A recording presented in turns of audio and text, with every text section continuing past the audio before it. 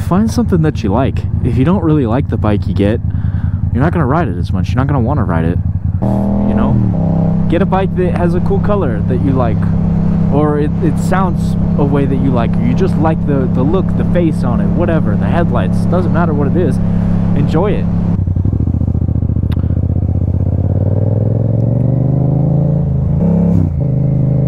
Today kind of turned into more of a more of a bike work day than a bike ride day, which sucks because it's gorgeous outside for February. But last night my uh, my brake lever, like the the pivot bolt on it, uh, came loose, fell off. So obviously not a whole lot of stunting going on. Topic for today is beginner bikes. It's probably something I've talked about before, but I'm gonna talk about it again because my opinions may have changed a little bit, and I get a lot of comments like, "Hey, I'm such and such years old. I'm I have this budget. I want to learn how to ride. You know, what should I get?" I'm like, I can't. Uh, I can't tell you exactly what you should or shouldn't do, but I can give you some tips and advice on uh, what bikes might be good, what bikes might not be as good.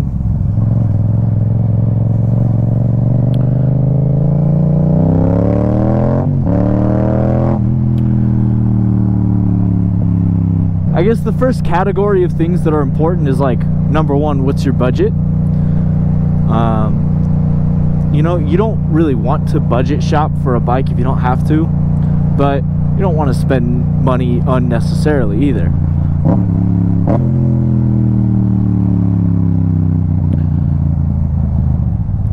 So, for the sake of this video and for thumbnail, I'm gonna be focusing on a $3,000 budget. So you got three grand. You wanna get something going first place you go is Facebook Marketplace. That's where you're gonna find all the private party sales and whatnot. And usually on there, you know, you can search around and see, well, okay, like maybe I could buy this fucking Fireblade or a ZX10 for three grand, but it's clapped out and I hear an R6. Hello. But it's clapped out. Um, and you don't need that much power.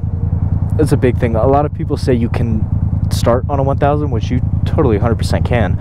Um, I think if you start out on a bike that's too big, it kind of ruins the, the fun of it a little bit, right? Because part of the fun of, of getting into bikes is like, okay, I can buy a, a 300 or a 400 or whatever and then I have somewhere to go after that, you know. Then I, I get to a point where I kind of feel like I can master that bike.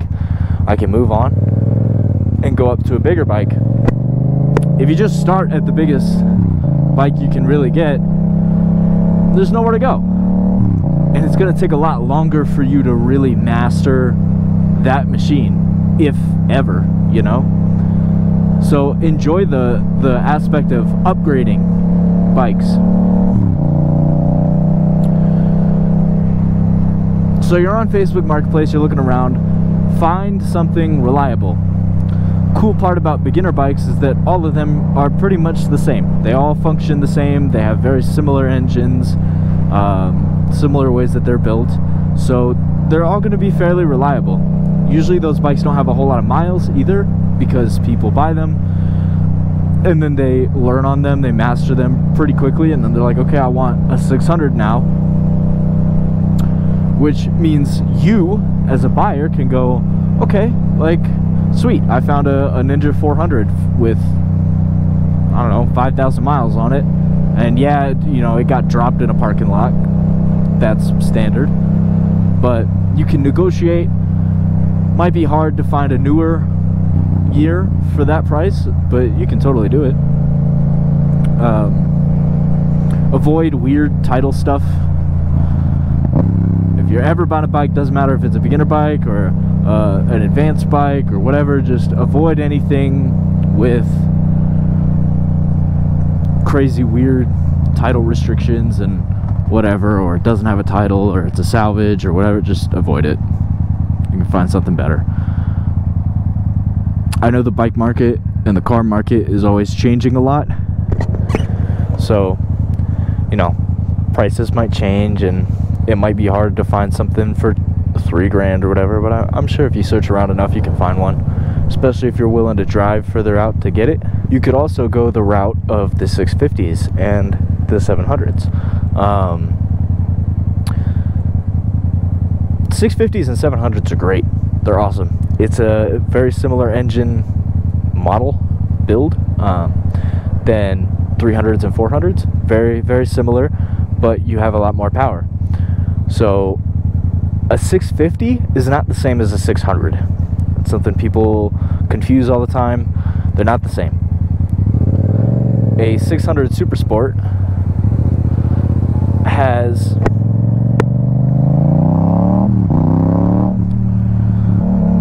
four cylinders, while a 650 typically has two. Outside of maybe like the, the 636, right? What that means, if you don't understand engines and whatnot, is that four cylinders, you're gonna make a lot more horsepower, and all your torque is gonna come in at the higher end of your RPMs. So that's why you hear those bikes get rung all the way out because that's where they're making the majority of their power. So keep that in mind. 650, not the same as 600. As long as the engine is not an inline four, you'll be golden. You have a lot more torque. This thing's super torquey. The R7, same engine, very torquey. Um, I know the Aprilia, what is it, the RS660? Beautiful bike, gorgeous.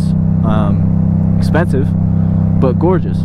And I would imagine it feels very similar to something like this. They have a really cool sound. They don't sound as great when they're 300, but a parallel twin 700 or a parallel twin 650, that can be a pretty mean sounding machine.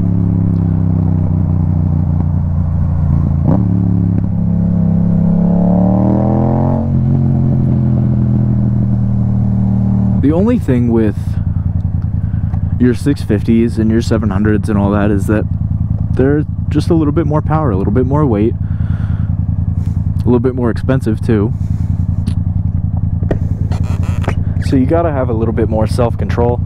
It's kind of hard to like really hurt yourself by like looping or something on a, on a 300 like as a beginner it's just not very likely that that'll happen it's not impossible. You could 100% do it, but it's far more likely on something like this that's super torquey that you don't have the throttle control down yet and you ring it out too fast, you dump the clutch, whatever, and then you fly backwards. So keep that in mind. You got to have some level of personal control over your bike.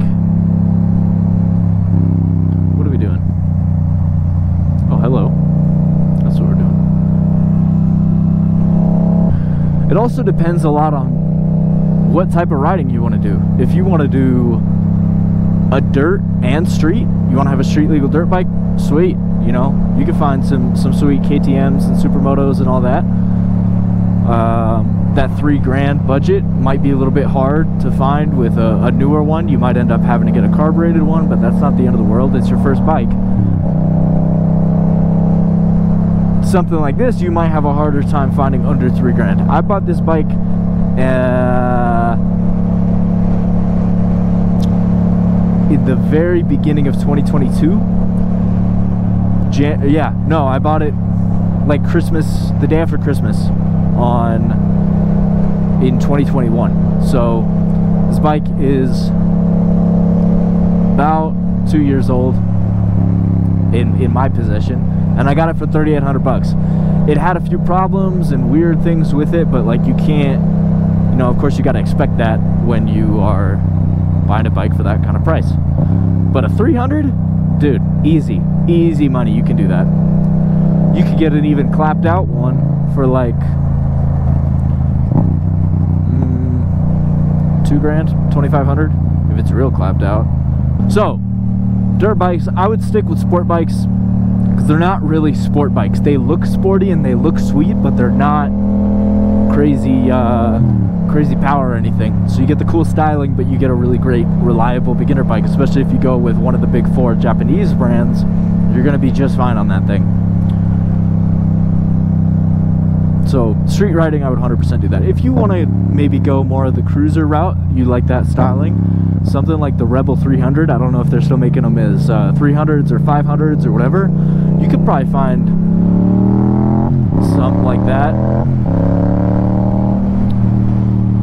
at a pretty decent price, especially if it's a few years old.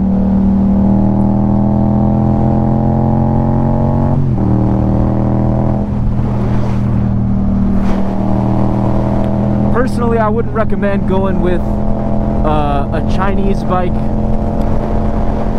You're just, you're better off going Japanese, um, at least European. You know, I, I don't have a whole lot of experience with European. Everybody says the reliability sucks, but, you know, I've never owned one, so I can't really speak to it. I hate riding this thing on this section of the highway. I feel like I'm just ringing it out too much at fucking 75, but Yeah, baby.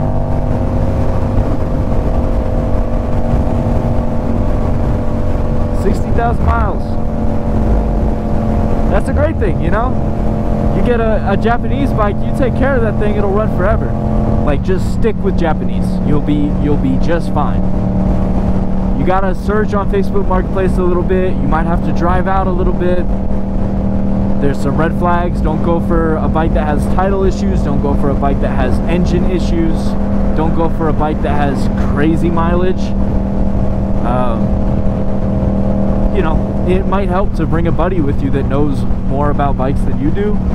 Like, hey man, can you like look this thing over for me so I know I'm making a good decision with my few thousand dollars. It's not it's not a small investment. It's not massive right? But you don't want to mess around.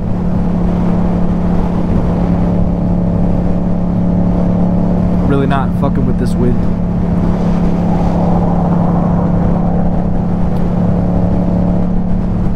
And if you want to do off-road, you don't want to do street, dirt bikes are surprisingly cheap.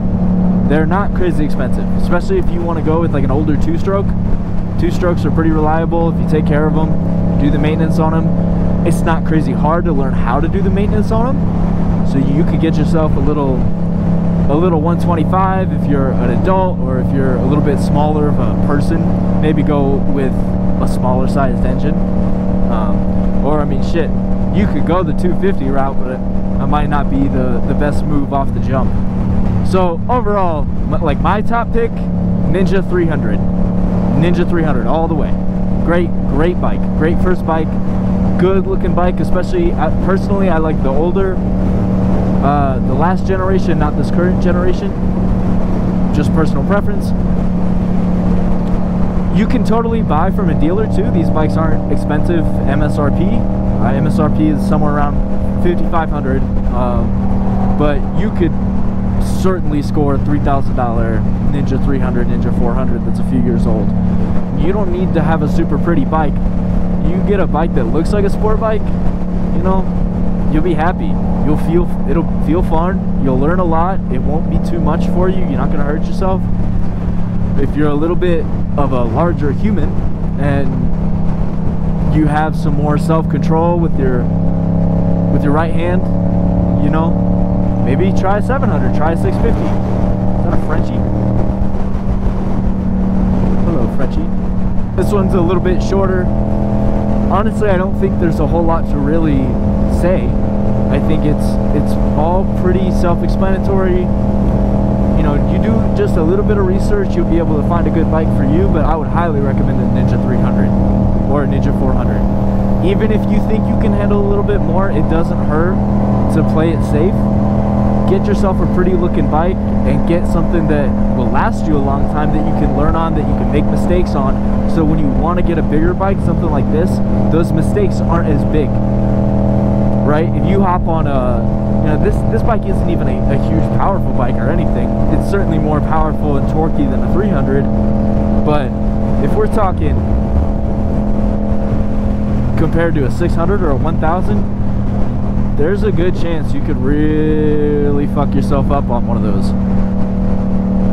So learning that throttle control is crucial. And having a, a cheap bike that you're not worried about dropping that will be reliable and easy to source parts for if you break and still be a good looking pretty bike like that checks all the boxes in my opinion But again, I mean, the Ninja 300 compared to the R3, very similar. Very, very similar. Compared to the, I don't know, Suzuki still making a 250? I don't know if they are. I, I wouldn't go Suzuki. That might be the only brand I would omit a little bit. I would go Yamaha, Kawasaki, or Honda. Uh, I think Honda's still making what? They're making a CBR 500. They have like a CB 300R, but they're making a CBR 500R. Those are great too it's a little again it's i think that would be a really cool happy medium between something like this and something like a 300 because th there isn't a i don't want to call it a massive difference but this is not a 300 a 500 might be just a little bit safer but you can get a little bit more out of it than a 300 but like all in all enjoy the process of learning and upgrading and trying out a ton of different bikes. That's that's the fun part of this. Don't end your journey right when it starts by getting a, a 1000 I gotta go get some lot time in. It's too nice. Well hopefully my uh, rear brake doesn't act up. Knock on carbon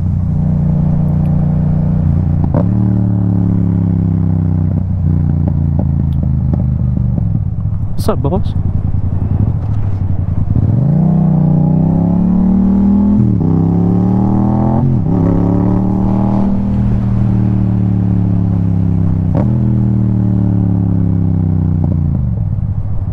Find something that you like. If you don't really like the bike you get, you're not going to ride it as much. You're not going to want to ride it.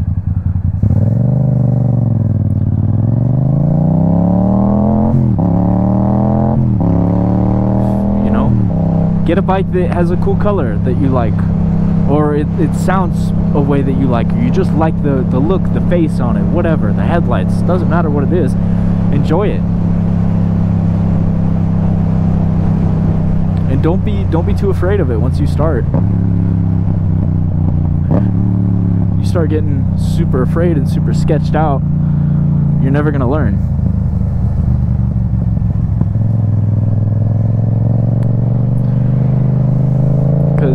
This shit is dangerous, but I mean, if you're in a parking lot, you're not gonna get hurt. I'm sorry, you maybe you will get hurt, but you're not gonna die. You'll be all right. You get back up. That's why you wear a helmet. Wear one of these.